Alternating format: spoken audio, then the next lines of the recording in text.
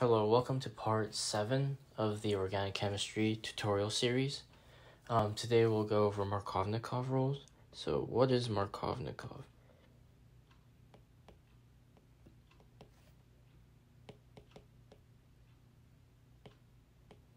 Markovnikov, or Markovnikov, um, the rule is talking about regioselectivity. So regioselective is Regioselectivity means just um, where it wants to go, like when you're adding a reagent. So where is like the question that it asks. So um, before we do that, um, uh, two reactions I want to go over um, is syn and anti, and that is um, stereo specific or selective, I guess. Stereo selective. This is just meaning front, same, or different. And what it means is that, so when we learned about palladium, or um, alkenes, and then applying um, hydrogen uh, catalyst with palladium, we know that it goes all the way, right? But one thing that um, I specifically didn't mention is that this is a syn addition of hydrogens on both sides attaching on the same side. So how does that happen is we have the alkene, right? And what we do is there's a plate of either nickel or palladium or platinum, but mostly nickel because it's cheap. But um, hydrogens are just attached on it. And so we run the um, alkene or alkyne, um, and the hydrogen is just attached on the same side, hence why we call it a syn addition. However, bromine, bromination of an alkene um, with Br2, actually it does an anti-addition where, so what happens is Br, uh, the first bromine actually um, so what happens right here is mm, Br, there's two of them, and so the bond attacks the bromine, like so, and it's lost its electrons. What bromine has a tendency to do is to form actually a sort of a three-membered ring called a bromonium ion. After that, the Br minus that's left behind does uh, um, an SN2 like reaction, hence why we get an anti addition to where either bromines are anti to each other. Both bromines are anti to each other. So this is an anti addition. So this is stereospecific, um, and then uh, regioselective is when Markovnikov rule uh, comes into play. So um, back to Markovnikov rule, Mark's rule um, states that when we add a HBr, hydrogen goes to goes to um, the place with more hydrogens. What I mean by that is when we have an alkene, so this is going to be a first um, um, alkene uh, reaction and um, this uh, video will go over all of the alkene reactions and also alcohol reactions um, as well as radicals. So what happens is um, hydrogen is actually pulled off by the pi bond breaking it, right? And so then hydrogen is here, and then bromine actually goes to the least substituted. And so when we're talking about uh, um, Mar- Markovnikov's rule, there's more hydrogens on this area, so hydrogen goes over here. So that's Markovnikov's rule. Hydrogen wants to go with um, where it has more of its friends, essentially. And so this um, will this reaction actually produces racemic mixture. And so um, it could be like this and this, or vice versa. So uh, keep in mind of that. And then now another, um, so let's see, right here.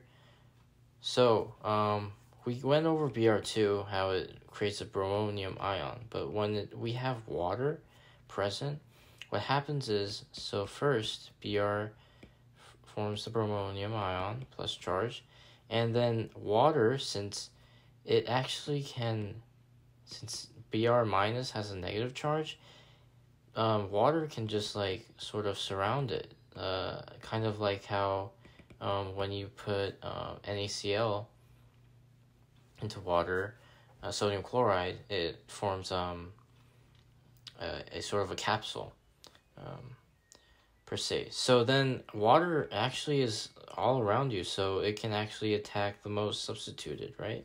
And the reason why it can do most substituted is similar to an SN1, where this carbon, this tertiary carbon, has the potential to have a more, uh, has a potential to have a carbocation, a tertiary carbocation, hence why there's a greater delta plus charge um, here than um, uh, over here on this other carbon.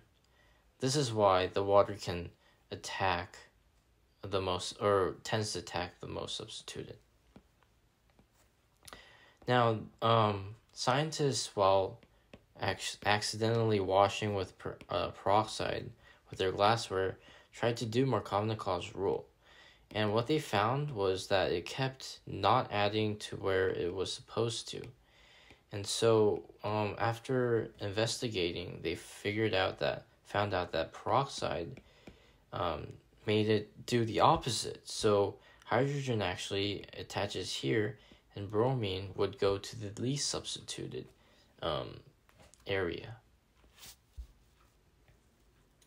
Um, this only occurs with uh, hydrogen bor- uh, bromine, um, HBr, and not with any um, um, other halogen acids.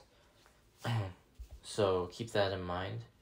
And then the next reaction we'll go over is using, uh, or the addition of, I should say, alcohol. So, um, H3O plus or, um, H2O actually, and H3O plus or H3PO4. Um, what happens is,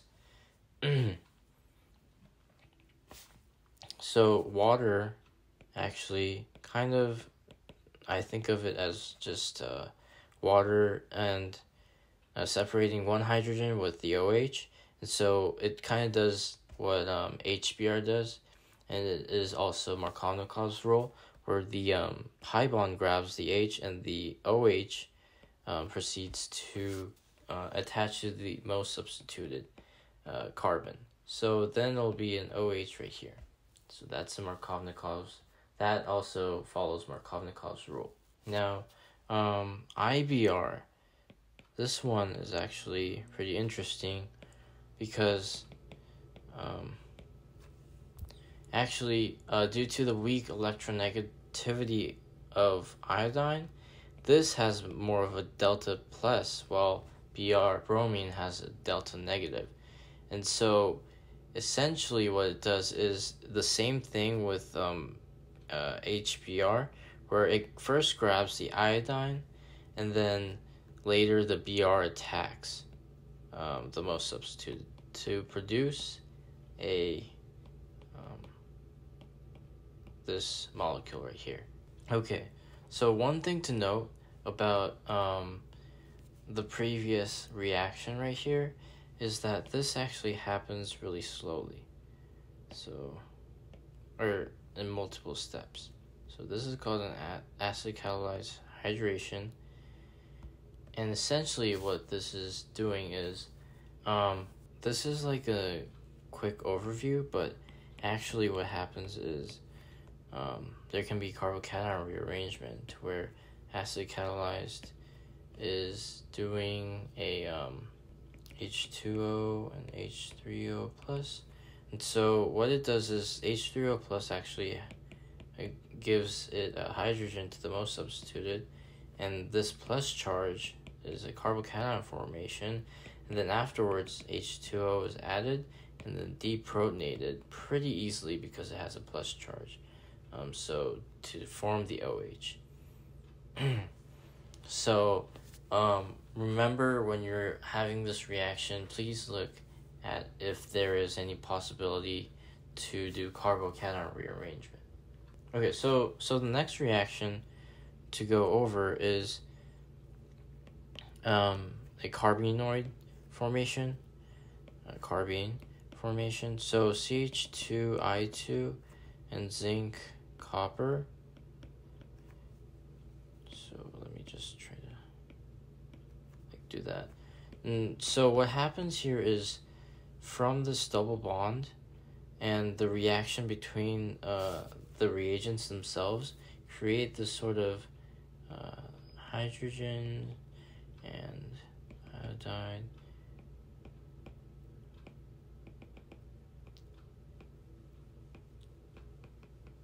this weird looking structure and so the pi bond actually attacks the uh, carbon and this uh, structure is called a carbenoid and so it's actually a carbene formation like this. This is a carbene. And so the pi bond forms or grabs this and the electrons right here grab onto here uh, onto this other side and then kicks off the iodine forming forming this uh, cyclopropane. Right? So, osmium um, reaction. This is actually, there's um, two types of this similar reaction. So, one is using osmium. So, um, O4 with pyridine. And second step is NaHSO3 H2O. So what happens here is um, osmium um, sort of makes a carbenoid as well. It attaches two oxygens and then um, on the second step, NaHSO3 H2O or H2O. It uses it um attaches hydrogens, protonates it essentially.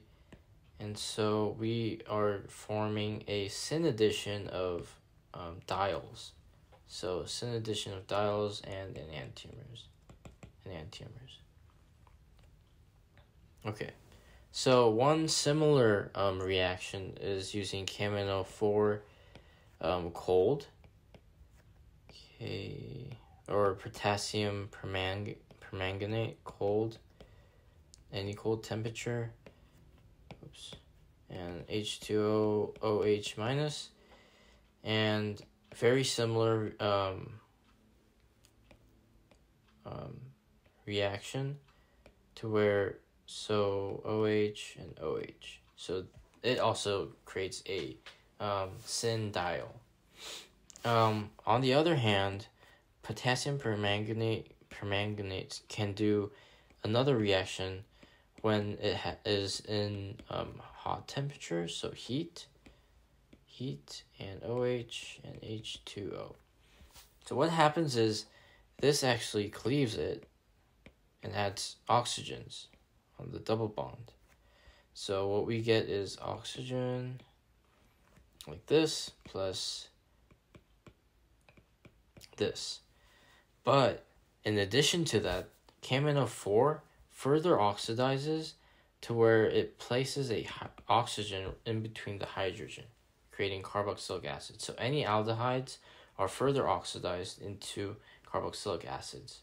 And a good way to remember about how KMNO4 works is um, cold beer, hot cleavage. So cold beer basically is, you know, cold beer basically saying that we're putting two alcohols and hot cleavage is we're cleaving the alkene. The hot cleavage. So basically, we're just cutting the um, two the double bond in half and adding two oxygens, and so the same reaction or a very similar reaction is done with ozone and uh, dimethyl sulfate sulfur. And so what this does is it also does the same thing, cleaves it, adds oxygens. However, um, it just leaves as is.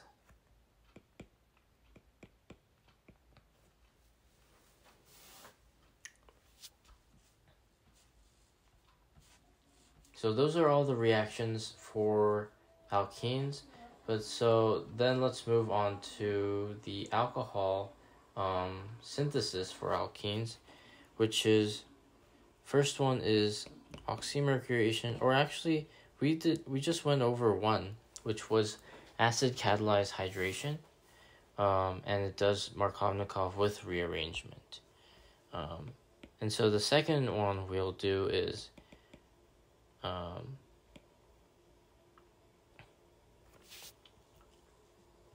oxymercuration, demercuration. Okay, so step one is that. Step two is NaBH4Cl. Alright, so what happens here is it actually adds alcohols and alcohol um, to the most substituted without rearrangement, and it's Markovnikov. This is oxymercuration, demercuration, and basically what happens is um, during this uh, step, it um, forms a forms a sort of bromonium ion like thing where it's mercury um, with acetate and plus charge right here. So what happens is then second step is uh, the um, H2O actually attacking here, right? So making an alcohol. It's easily deprotonated, by the way, and there is mercury acetate still there. And so the second step that it does with the NaBH4Cl is it replaces that mercury with um, a hydrogen hence forming our product. Now the second, or I guess third one I should say, is hydroboration oxidation. And this one is a little bit special because it does anti-Markovnikov. So um, hopefully this is this will stick uh, in your mind pretty easily. H2O2OH minus. And it does anti-Markovnikov addition of alcohol. Um, and uh, does syn addition of alcohol. So syn addition with hydrogen. The actual reaction itself is um, so since boron is more is less electronegative, it actually acts as the hydrogen instead of um, bromine or uh, instead of hydrogen itself actually. And so HBH2 and the pi bond actually attaches to the bor- boron and then afterwards the hydrogen attacks the more substituted. And this can happen multiple times. Um, boron can actually do it three more uh, two more times creating this weird looking structure.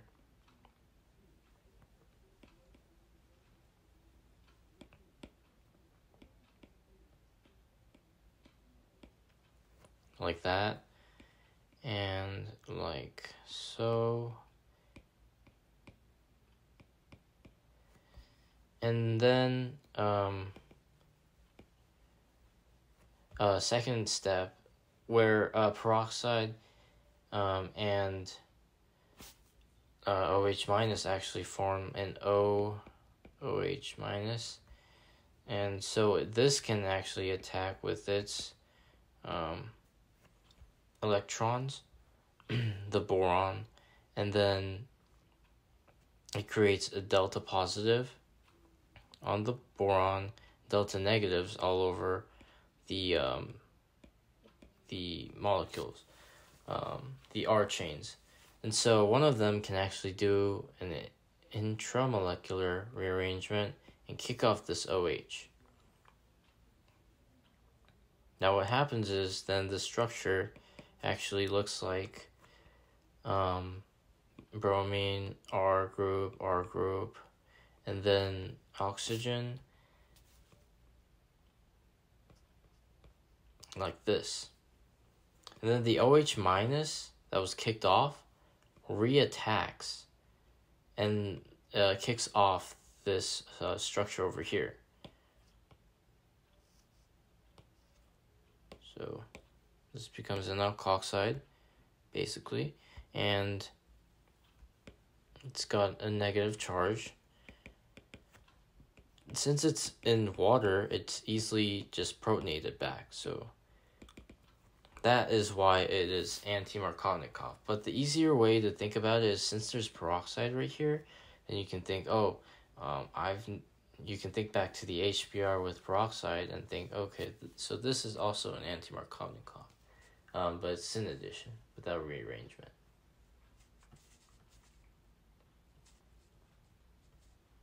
Now the order of reactivity of alcohols regarding um, like dehydration? Or uh yes dehydration is so um remember when we did the um alcohol dehydration where we use H3O plus and H2O HI actually? And so generally speaking um when we're doing this it's very similar to acid catalyzed hydration. So what we're all we're doing is putting a better leaving group on here. And so what happens is this H3O plus, you know, protonates the H2O and creating an oxonium ion that leaves, right? It's very similar to acid catalyzed hydration. But um, the reactivity on this is, is also like tertiary, secondary, and primary. Um, so tertiary is relatively easier to like um, pull out. Um, and so we get a carbocation, remember, and then the HCl, the Cl, can actually go and attack this part. So Cl can actually go and attack this part. Um, the way I think about it, or HI, the way I think about it is like more of um, um the hydrogen just depro or actually protonating it so that it can be easier for you to think like uh, similarly to HBr, uh, how we did that with Markovnikov rule. So then we get uh, an iodide on the tertiary carbon, making a better leaving group so that you can do more um, reactions uh, with ease. All right. So if you haven't noticed, um, now we're just moving on to like alcohol reactions. And so one of the alcohol reactions is using um, uh, um, sodium, elemental sodium, with heat. With heat. And so let me just rewrite this. So it's heat. And so what happens is it donates one of its electrons and this does a homolysis, leaving um, or hydrogen leaves because it's good with two electrons and forms hydrogen gas with a H plus ion, and we are left with a radical um, uh, oxygen. And so another, you know, sodium can elemental sodium can just donate it, making it RO minus, and so we get RO minus plus H2. And so um, by form forming the uh, hydrogen um, gas, uh, according to Le Chatelier's principle,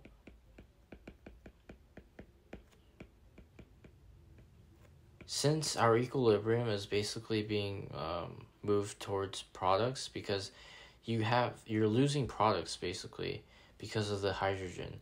And so hydrogen gas is just like leaving the um, uh, reaction. And so this um dri- this is the driving force of this reaction. So it's product favored. And it creates basically a strong nucleophile strong base. Strong strong nucleophile strong base for further reactions so primary and secondary um, alkyl halides we can do um, something called a Williamson William ether synthesis. There's synthesis. And what this is is um after like a deep so we have an alcohol, right? And so with some kind of strong base, we can deprotonate it having an R minus. After that, we can actually use this as our strong nucleophile to make an ether so it does an SN2, right? So SN2 reaction on a primary. Um, secondary actually can either do uh, E2 or SN2. Um, and so, but remember that just deprotonating and uh, the alcohol creates a good um, um, or a strong base, strong nucleophile, so that it can create a, a ether. Now with um, tertiary carbons, with um, ROH, let's say we have uh, some kind of structure like this, and so it's OH, and have this two structures, this two methyls. Um, we can use HBr and so we protonate it so that then it leaves, right? H2 plus, and it's able to leave. This forms carbocation and can do a carbocation rearrangement. So looking at this, we can do a methyl shift, right? Methyl shift right here. We can just move it over here and then the positive charge moves over. So what happens is we move the methyl, and then over here we get a positive charge. After that, the B minus, Br minus, can attack both sides and form a racemic mixture of uh, a tertiary bromine or tertiary alkyl halide. And so it could be, um, it's actually um, would be diastereomers uh, created because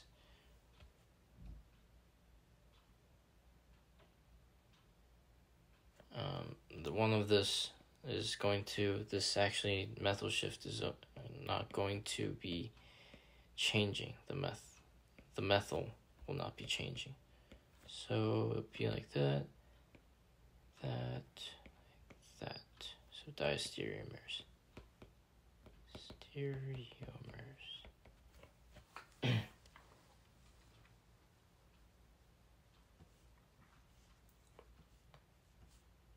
now then, um, finally, or lastly, we can use um, certain reagents to create a better leaving group or adding alkyl halides or making an alkyl halide. So let's say we had an OH right here. And this only works for primary and secondary, never tertiary. And so what happens is we can use SOCl2, uh, PCl5, PCl3, um, PBr3 to do to replace this uh, OH group into an RX. Fairly straightforward. So Cl anything ending in Cl is just uh, replacing it with the chlorine, and then also I forgot Pi two. So um, anything ending in um, bromine is going obviously going to replace the bromine, and then um, iodide also same thing. So what happens is ROH, we have this P, um, CL, CL, CL, CL. So it attacks here. It kicks off a chlorine. and then this chlorine actually, and it gains a positive charge here. And so this chlorine actually can gains a negative charge and does an SN2 like reaction, which is why it does an RC, uh, replaces it with the chlorine. Same kind of logic with all of the other reagents as well. If you need more, um, um, like, want to know about the mechanism, I, ha- I suggest that you go over to, like, the textbook or um, online resources. Um, also, sulfonic, sulfonic chlorides, um, they do the same thing as well. Instead, um, they actually are the um, uh, good leaving group. So, what this means is if I have an R, ROH right here, and then we have an, um, let's say R prime S O C L O. So what happens here is that this attacks, um, and so the uh, sulfonyl chloride, and we get something like this.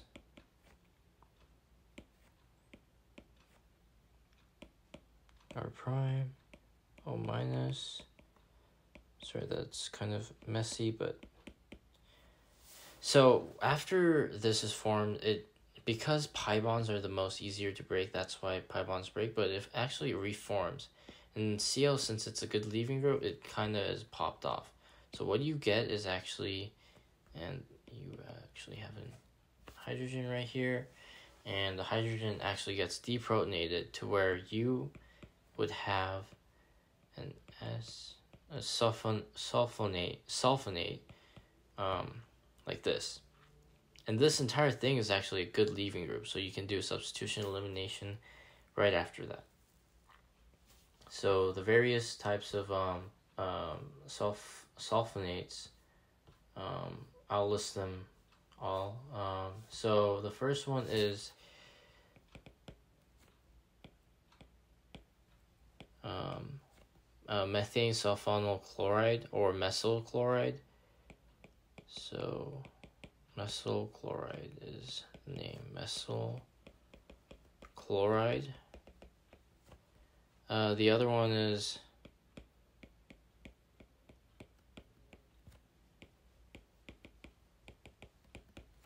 uh, triflyl chloride.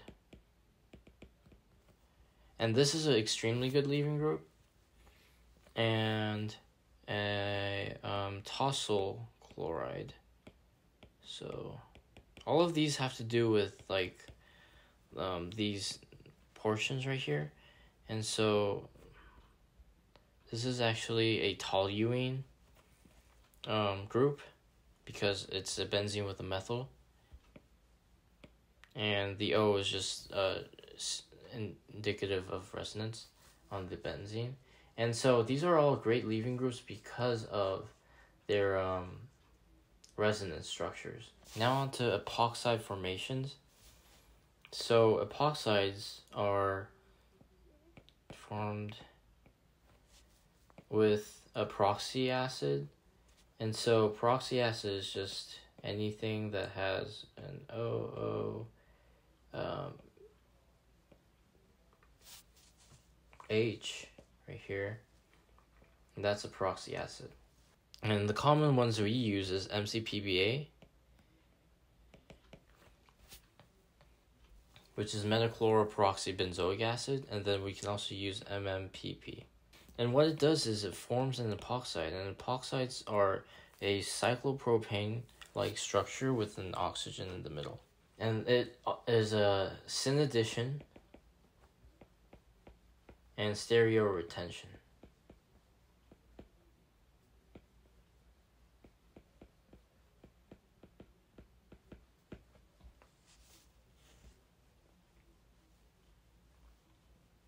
Now with this, let's say we form this epoxide right here. Uh, two things can happen. So one, if using a strong, uh, strong uh, nucleophile, or using a weak nucleophile. So, two things can happen. So, um, an acronym that we use is BLAM. Base less substituted, um, acid more substituted. So what we're saying is that um, for strong nucleophiles or strong bases, um, actual uh, the base would actually attack here, the last uh, substituted, and then um, the base or the um, O minus would actually just be protonated. And then for weak nucleophiles or acids, we have to actually protonate this to where um, O is like that, creating a positive charge and a delta positive on either side. And since the tertiary carbon is has a tendency to become a more stable carbocation, that's where the uh, weak nucleophile would actually attach here. So I'll just put acid here, then OH over here. So this is what would happen. So blam base less, so base less um, acid more. It's an easy way to re remember how reactions will go. Now then, let's move on to radicals. And so radicals actually help us, radical reactions actually help us to do, um, to create good leaving groups onto things that aren't, that have none. So it creates something from nothing, creates something from nothing. That's basically what it does. Um, and so um, previously we've used ionic reactions with heter- heterolysis, and now radical reactions use homolysis. Um, which is so in HBr it was rather it was just like donating all the electrons to the bromine, but for this one it would be HBr and they would each gain electrons. Homolysis. Heterolysis.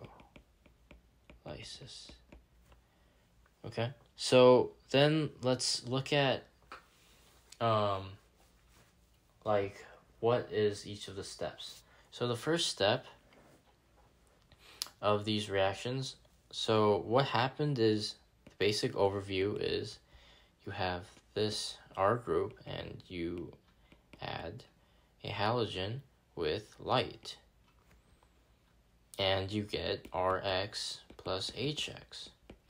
Now how this happens is um, there's three steps.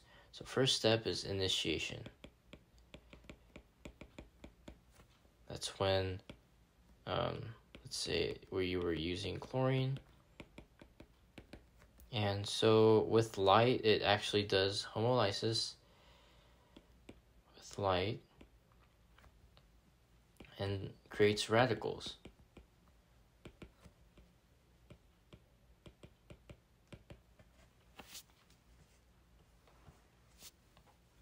Right? Okay. So, um, then we do, um, second step is propagation, where um, some of it, um, say this is the R group and H, some of it could go ahead and react here, where this lysis here and form a uh, CLH. So it forms this plus HCl, right? And it forms a radical. So this is like very small percentage. So second part is 90% of what happens is this radical right here that is formed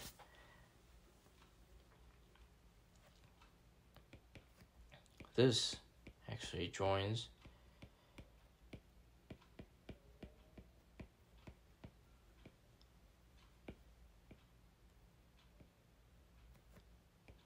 together like that, doing homolysis. And this forms our wanted product of H, uh, H3CCl plus a radical. Right, and then, so the last step is termination. So termination. That is when um, chlorine can, chlorine radicals, I'll just put single to like just show you um, shorthanded. And so then it becomes just Cl2 again. Um, and then um, two radicals of CH3 actually come together and then they reform uh, H uh, ethyl group, ethyl chain, and